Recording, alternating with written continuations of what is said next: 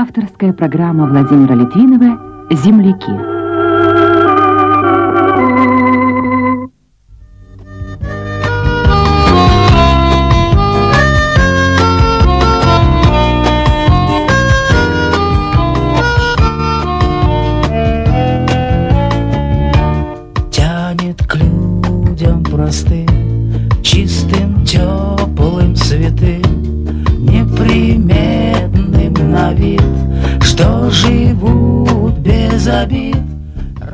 Приветствую вас, дорогие земляки.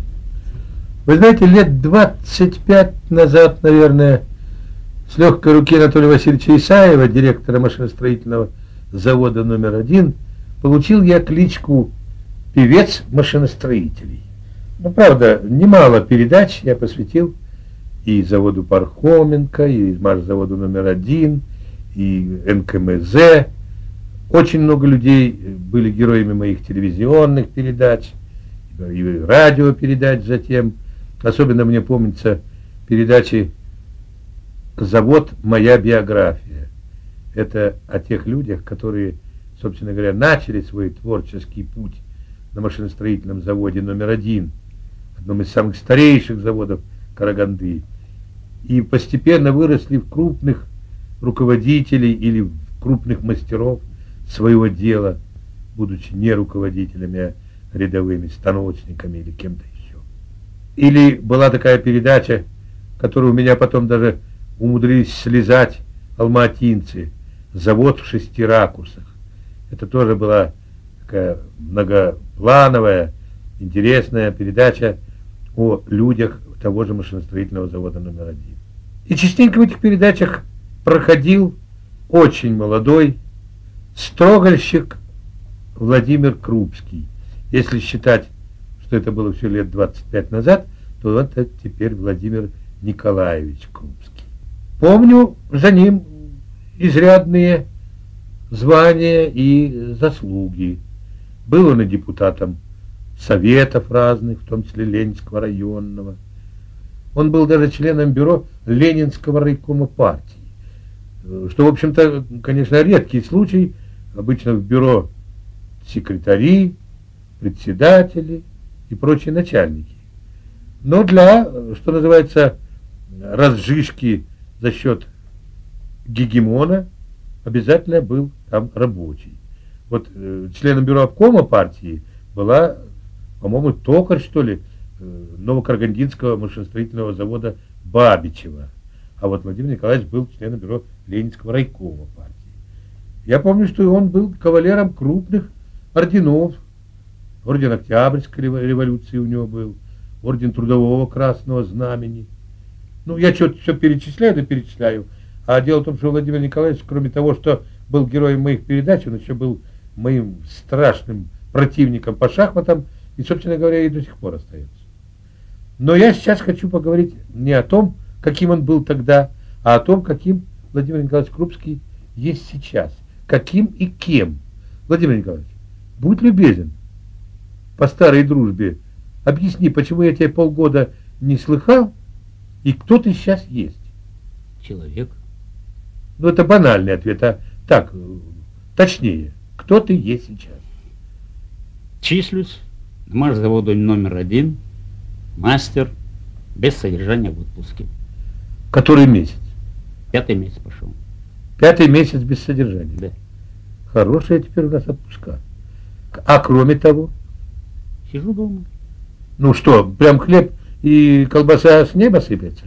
Да нет, э, за счет пенсии жены живем. Так, пенсия жены, это э, в переводе на тенге, что это такое? Ну, где-то четыре с небольшим тысячи. Четыре с небольшим тысяч. Да. Но ведь у вас же еще, по-моему, потомство имеется. Да, сын демобилизовался, только устроился работать с месяца, наверное. Но когда будет получать зарплату, тоже неизвестно. Внучечка у меня пошла в первый класс. Живем. Живем. А жена-то, во-первых, я имя забыл, прошу прощения. Антонина Прокофьевна. Так Антонина Прокофьевна кем работает? Она сейчас на пенсии, не работает. А до этого? До пенсии? геологом была. Потом Геолог. на шахте немного дорабатывала до пенсии. ВТК. Что-то такое связанное. А самому пенсия когда светит? Через три года и 10 месяцев. Через три года и 10 месяцев. То есть, когда исполнится 63 года. 63 года. Владимир Николаевич, а как давно переступал порог заводской проходной? Я помню, между прочим, что одной из э, самых волнующих тем было для меня в телевизионной станции «Юность» это рассказывать о культуре после праздника. Я уж сейчас не помню, кто или директор завода «Фаермак», или директор завода Исаев мне говорил, а у нас люди и приходят на работу, как на праздник, и уходят с работы, одетые по-праздничному.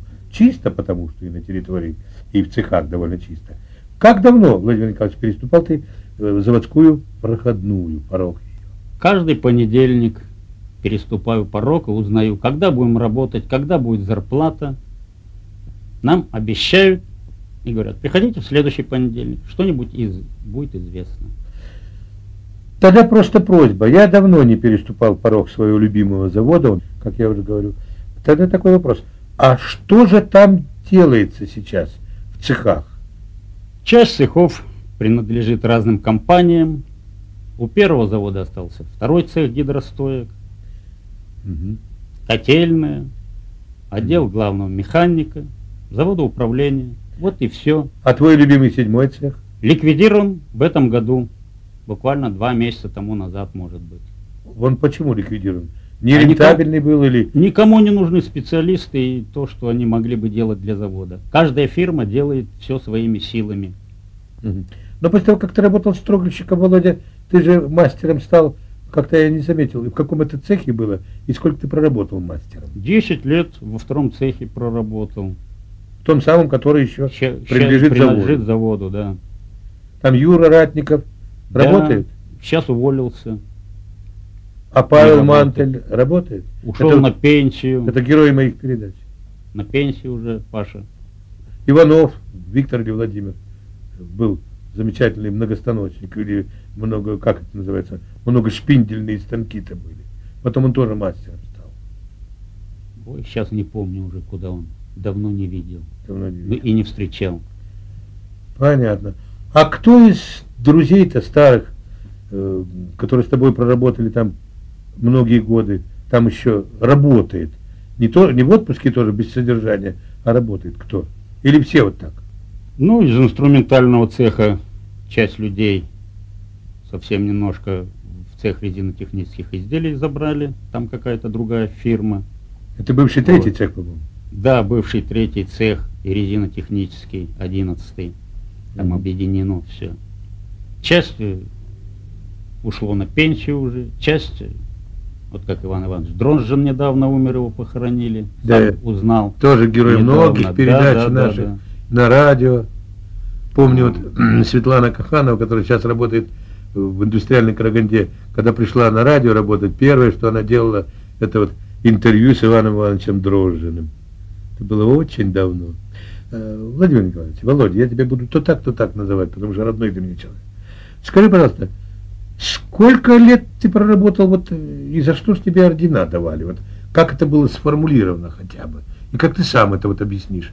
За что ты получал такие высокие ордена? Я, по-моему, даже и не все перечислил. Ну, Сначала сколько лет работал? На заводе 37 лет уже. 37 лет. А самому еще только 58. 50, 60 год пошел. 59. В общем, две трети жизни прожито в стенах завода. Так, а за что давали такие крупные ордена? Ведь ты же не директор, не инженер. Ну, официально, как напечатано было, за производственные достижения, вроде бы лучше всех работал. На самом деле, так же, как и все. Ну, а как сам-то теперь сформулировал бы? За что же тебе давали ордена? Ну, я думаю, не только за один труд, а за активность какую-то политическую, там, партийную, комсомольскую, депутатскую. Все это, если вместе суммировать, то, может быть, руководители и усмотрели, что надо а может наградить. За то, а может за то, что советское государство все-таки действительно держалось на плечах рабочего класса? А? Ну, это несомненно. Впереди был рабочий человек, колхозник, на которого ориентировались, его труд пропагандировался, с него брали пример, пытались воспитывать подрастающее поколение на рабочих традициях. Еще один вопрос. Володя, ты прости, ты схитрил? Я промолчал. Ты продолжаешь молчать, но я ты вскрою это дело. Ведь ты, кроме того, что на пенсию жены, ты еще и работаешь по ночам. Ты работаешь сторожем в детском садике. Потому что я знаю тебя как настоящего мужчину, который на одну пенсию жены жить не сможет. Он же э, совесть имеет. Муж, живущий хоть на пенсию, хоть на зарплату жены, это не мужчина. Поэтому ты не можешь сидеть и просто дожидаться. Вот расскажи про эту часть своей работы. Как ты этим занимаешься э, делом-то? Оно же высокой квалификации. К сожалению, полтора года уже нигде не работаю. Детский садик Вьюнов, Вьюнок шахты имени Костенко ликвидирован новыми властями. Работники садика, которые сохранили здание, оборудование в течение двух месяц, месяцев, трех, остались без зарплаты. Полтора года таскались по судам. Наконец суд присудил выплатить эту зарплату им. Но по сей день работники не получили заработанные ими деньги. Уже полтора года с лишним прошло. Это также касается еще другого садика, шахты Костенко, где-то при Шахтинске. Так что нигде пока не работаю. Так делаю дома ремонт. Бесконечный ремонт, что ли? Ну, то одно сломается, то другое сломается, то сестре там надо помочь, то дочери надо помочь.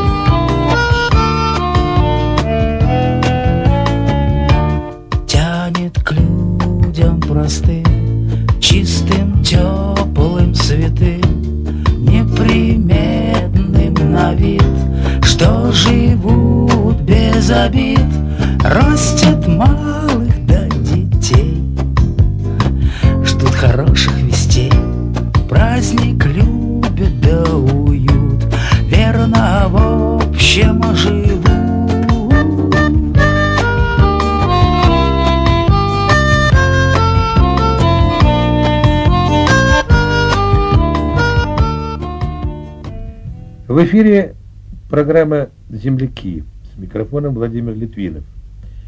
А герой наш сегодня, когда-то настоящий герой труда, а теперь человек на вынужденном сидении дома, Владимир Николаевич Крупский, последние месяцы работавший, последние годы, целые десятилетия работавший мастером второго цеха, главного цеха, между прочим, машиностроительного завода номер один.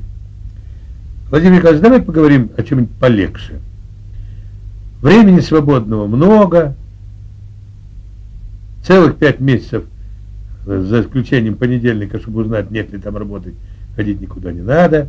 Чем занимается станочник высокого, высочайшего класса? Домашними Владимир работами. Ну, давай посмотрим по-другому. Сначала, наверное, читай. Что читаешь? К сожалению, читать мало приходится. Больше слушаю радио, делаю свои выводы. Газеты с ликвидацией советских времен практически так. Просматриваю и ничего всерьез не беру. Много непонятного, особенно в людях, которые продолжают находиться у власти и ведут себя недолжным образом. Мне это очень неприятно.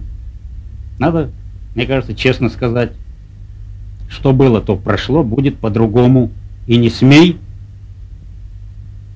вылазить куда-то. Живи как можешь. Ну, в принципе, наверное, так оно и будет. Каждый будет жить как может, один как может воровать, другой как может бегать искать хоть какую-то работу и искать возможность угодить хозяину, поскольку если не так на хозяина посмотришь или не то слово скажешь, так и вылетишь. Потому что рук свободных сейчас много, заменить любые руки можно. А вот, э, говоришь, слушаешь радио. Я тут, дорогие радиослушатели, дорогие земляки, хочу сказать вот какую интересную вещь. По идее, программу о Владимире Крупском я должен был сделать бы лет еще пять назад. Потому что, ну, нет, наверное, в городе э, более внимательного, более чуткого слушателя программы «Земляки», чем Владимир Крупский.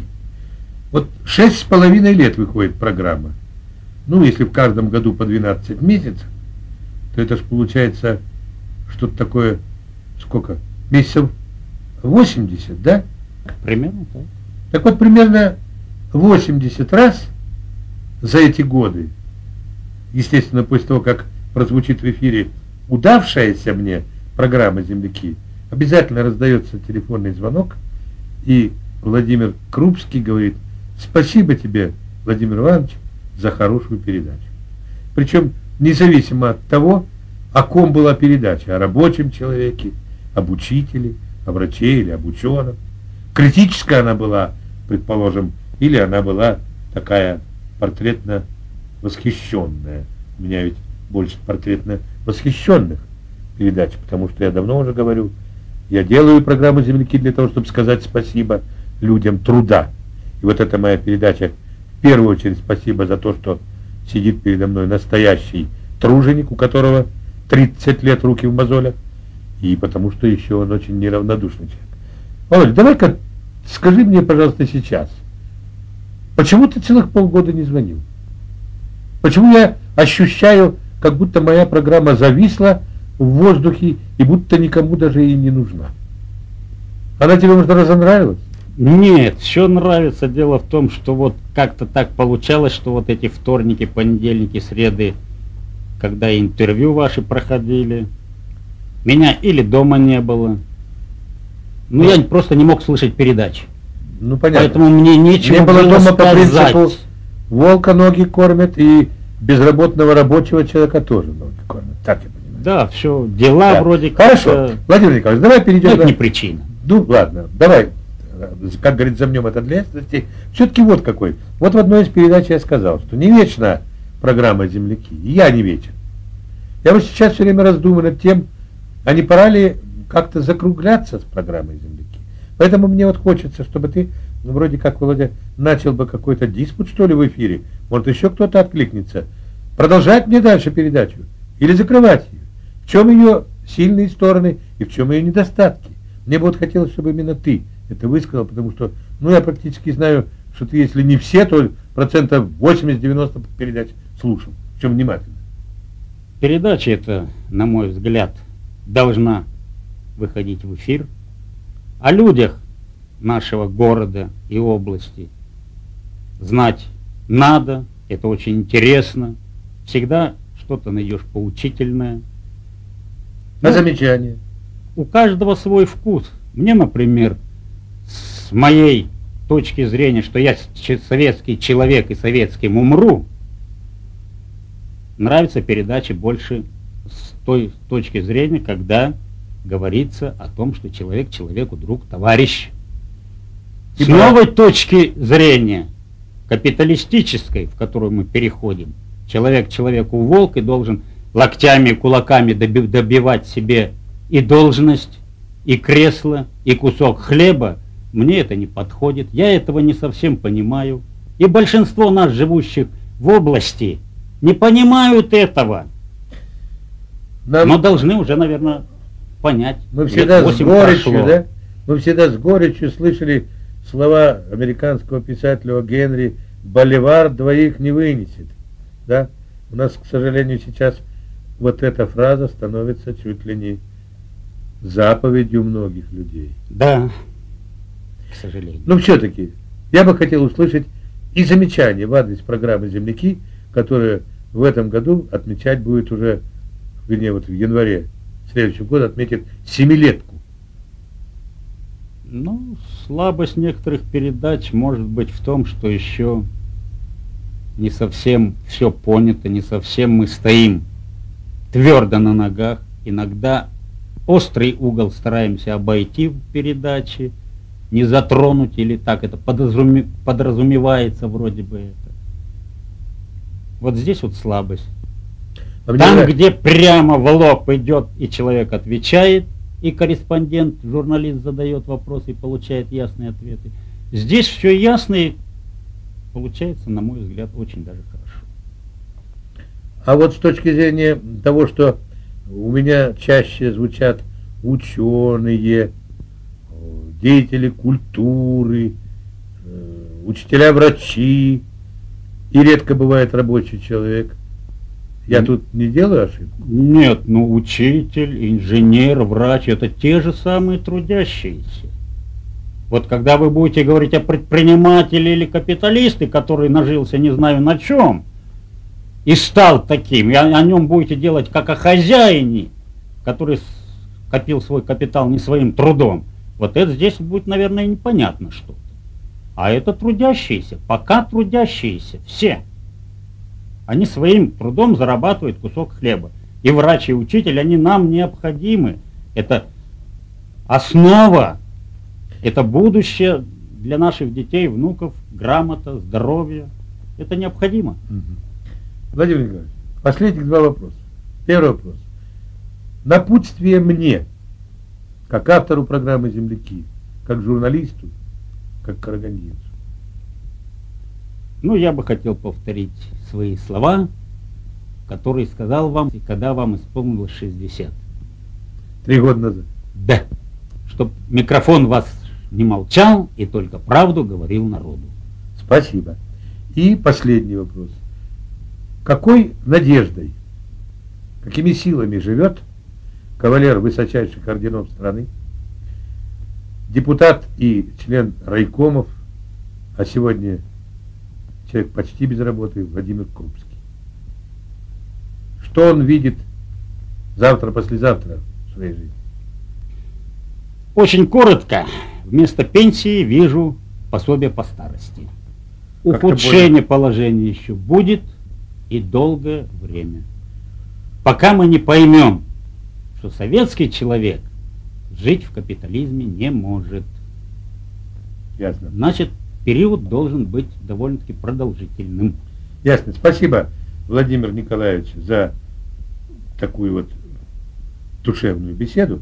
Я хочу вот сразу тут в присутствии радиослушателей подарить тебе, Володя, свою книгу, которая называется «Сердца раскрываются». Я вдохновлялся твоими спасибами за передачи, когда делал героями этой книги героев программы «Земляки». Здесь тебя, к сожалению, нету, но машиностроители тут есть, шахтеры тут есть, куда вы относились, и просто рядовые люди есть. А радиослушателям могу сообщить, что книга «Сердца раскрывается» Продается сейчас в книжных магазинах. Можно ее купить, запросить ее и по адресу 520708. Можно и мне домой позвонить, я объясню, где и как. 52 19 75. Спасибо, дорогие земляки, за внимание. Спасибо еще раз, Владимир Николаевич, за беседу. Спасибо за книгу. А тебе, Владимир Николаевич, спасибо за то, что ты терпеливо ждешь, когда же, наконец, твои руки дорвутся до станка, Нельзя такому человеку, как ты, быть без дела.